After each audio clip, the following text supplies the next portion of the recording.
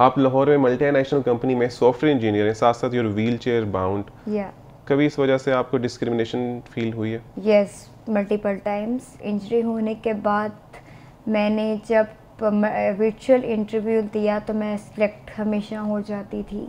Select होने के बाद जब मुझे कॉन्ग्रेचुलेशन कॉल के लिए आती थी और एचर को मैं बताती थी कि मैं एक अब एक एक्सीडेंट के बाद अब मैं एक व्हील यूज़र हूँ तो वो साथ ही मुझे रिजेक्ट कर दिया जाता था।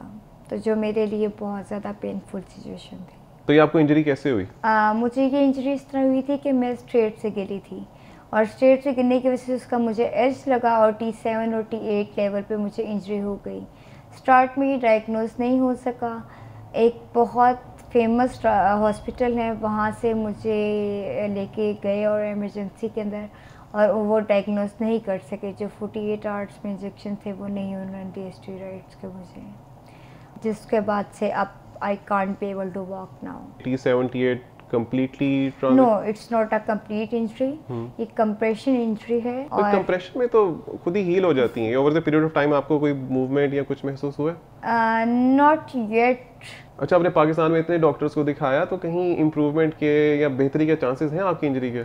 अगर मैं आपको फ्रेंडली वे में बताऊँ तो यहाँ पे पाकिस्तान के अंदर इतनी अवेयरनेस है ही नहीं। हमारे पाकिस्तान के डॉक्टर्स जो है वो इस चीज़ को इतना जानता ही नहीं कि इंजरी है क्या। नहीं ऐसे देखें ऐसी बात मैं तो नहीं समझता। I know so many competent doctors in Pakistan. नहीं आई डोंट थिंक सो ठीक है मैं रिस्पेक्ट करता हूँ आपका जो ओपिनियन है मगर I believe everyone has different opinions and according to my opinion Pakistan के जो डॉक्टर्स हैं न्यूरो सर्जन्स और न्यूरो फिजिशियन उनको इस चीज़ की अभी इतनी नॉलेज नहीं है चले मैं कोई इसमें कमेंट नहीं करता क्योंकि आई बिलीव मैं जानता हूँ बहुत लोग हैं अगर खैर देन अगेन मैं इधर कह रहा हूँ कि कोई देख रहे हैं न्यूरो सर्जन हो बाहर के मुल्क में हो इंडिया से हो इंडिया से मैं बहुत से लोग देखते हैं अमेरिका से हो and they believe they can contact you और अगर पाकिस्तान में भी है और मुझे उसका आइडिया नहीं है मे बी हम्म।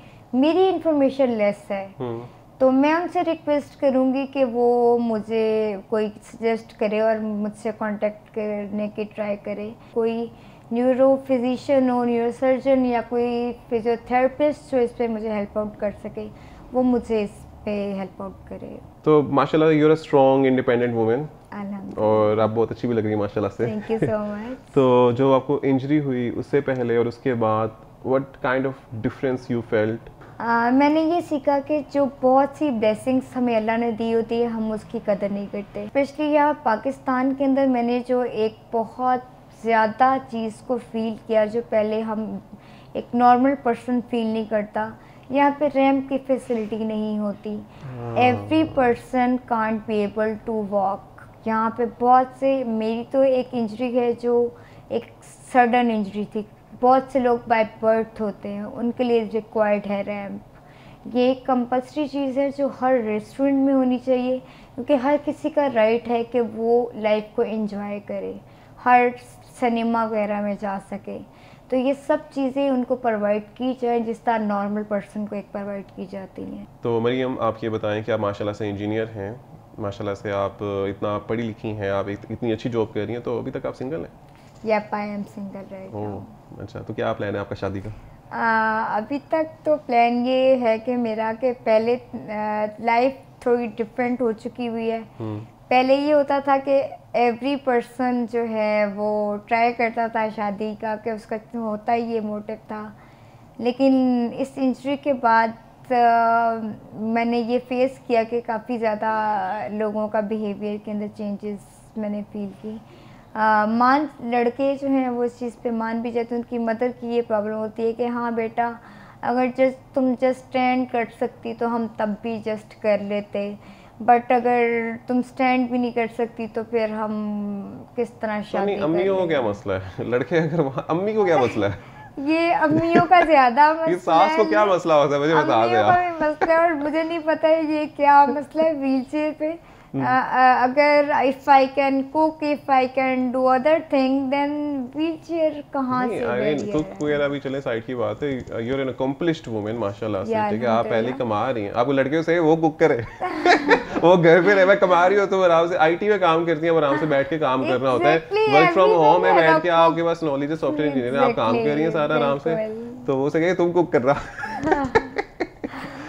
तो, अपने करियर के बारे में आगे क्या सोचा हुआ है? What are further career plans career plans मेरे यही हैं कि मैं जो है अभी आईटी से पाकिस्तान से मूव करना चाहूँगी। क्यों पाकिस्तान में क्या क्यों मूव कर रही हैं पाकिस्तान वैसे मैं भी कर रहा हूँ।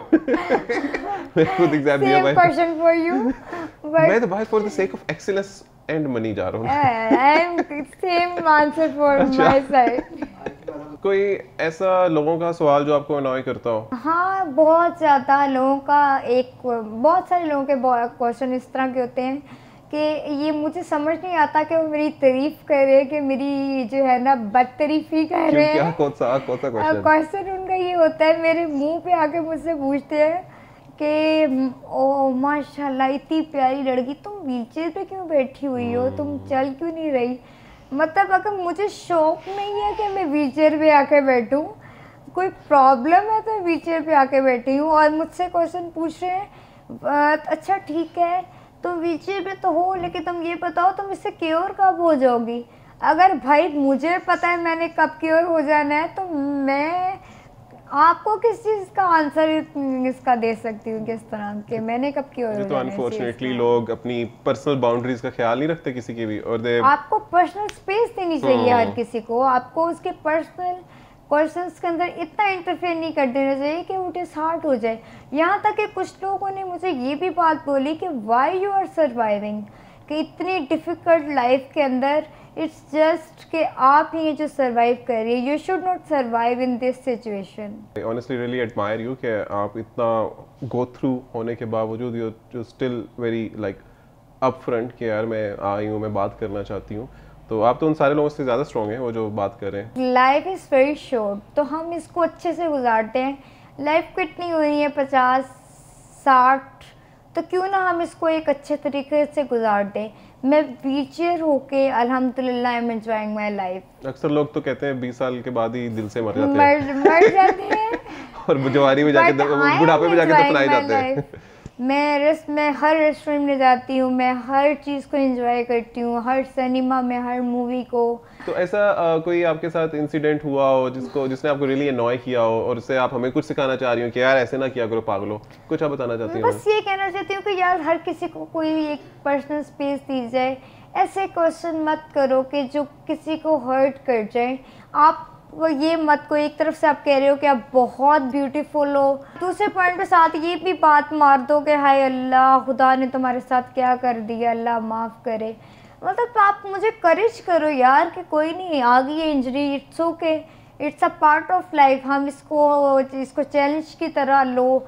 और इनशाला लाइफ में एक दिन क्योर आ जाएगा और तुम प्रॉपरली दोबारा फिर अपने पाँव पे आ जाओगी। अच्छा तो आप कह रही हैं कि आप सिंगल हैं। इसमें तो आप तहरीके सिंगल्स यूनियन का एक मेंबर हाँ, है। मैं भी एक सिंगल जो है ना यूनियन मगर आप ये यूनियन छोड़ना भी चाह रही हैं हूँ। तो आप कैसा लड़का देख रही हैं इस यूनियन को छोड़ने के लिए? ऑब्वियसली मैं एजुकेटेड फैमिली से हूँ और मेरे पेरेंट्स डॉक्टर हैं मेरी होल फैमिली हमें मेडिकल बैकग्राउंड से बिलोंग करती हूँ।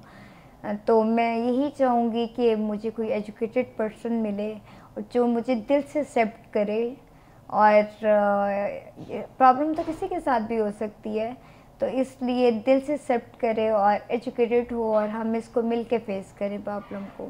अच्छा व्हील चेयर के बाद इस तरह होता होगा कि आप कहीं जाती होंगी तो आपको एक्स्ट्रा अटेंशन मिलती होगी। हम्म।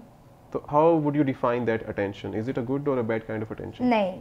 आई थिंक कि मुझे नॉर्मल लाइफ गुजारनी है मुझे सिंपैथेटिक लाइफ नहीं पसंद तो मुझे अ नॉर्मल ही डील करना चाहिए। और आप कुछ पैगाम देना चाहती हूँ जो लोग आपको देख रहे हैं? क्योंकि then again Mariam you are an inspiration to so many people you are doing great in life ठीक है? Thank you so much for coming here मैं सबको बस यही कहूँगी कि एजुकेशन इज़ वेरी इंपॉर्टेंट मेरे पास एजुकेशन थी तो आज मैंने इस प्रॉब्लम को फेस किया और मैं किसी पर डिपेंडेंट नहीं हूँ। तो अगर मैं एजुकेटेड ना होती तो शायद मेरा बहुत बुरा हाल हो चुका होता। तो आई वांट के हर कोई स्टडी को इतना ही सीरियस ले कि लाइफ इज़ अनप्रडिक्टेबल चाहे लड़की हो या लड़का हो, पर एजुकेशन पे कॉम्प्रोमाइज़ ना करें।